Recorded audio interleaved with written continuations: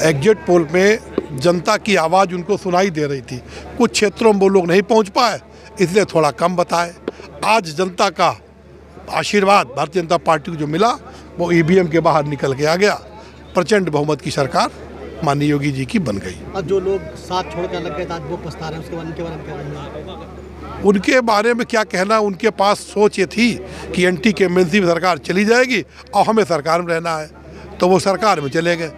अब जो उम्मीदें भरोसा जताया था सरकार पर या बीजेपी पर, उन पर अब खड़ा उतरने की जो चीज़ें वो किसने पूरी की जाएगी? माननीय प्रधानमंत्री जी ने अभी एक भाषण में कहा था कि यहाँ पर जो गौ की समस्या है, उसका चुनाव के बाद हम तुरंत समाधान करेंगे।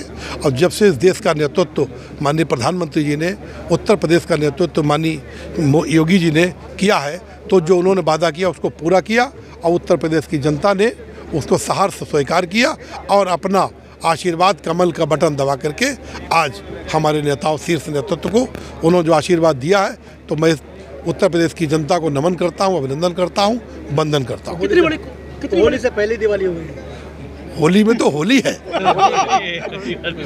होली ही चल रही है। होली से पहले होली हो गई। कितनी बड़ी खुशी मान रहे हैं? आज छह सीटें यहाँ से निकल रही हैं। इससे बढ़कर कोई सीट जीत हो ही नहीं खुशी हो ही नहीं सकती है कि जनपद शाहजहाँपुर पहली बार छः की छः सीट जीत रहा है क्योंकि इससे पहले हमारे पड़ोसी दो जिलों में रिकॉर्ड था कि बरेल इस पे पीलीभीत और लखीमपुर। सारी सीटें जीते थे।